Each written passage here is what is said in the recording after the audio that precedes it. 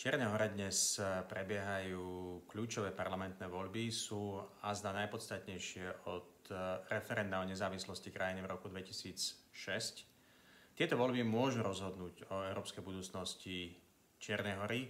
Je preto veľmi dôležité, aby prebehli slobodne, aby sa uskutočnili bezpečne v čase pandémie a hlavne, aby prebehli bez akýchkoľvek vonkajších zásahov. Čierna hora čelila pred 4 rokmi pokusu o prevrat počas parlamentných volieb.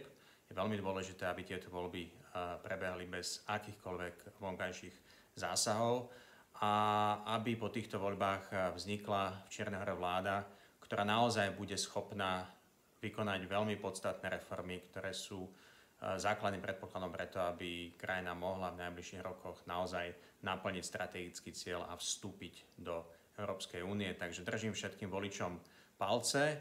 A, a ako predseda delegácie Európskeho parlamentu pre Čiernu horu veľmi pozorne sledujem, čo sa v krajine deje v ostatných dňoch, týždňoch aj dnes a bude diať zajtra.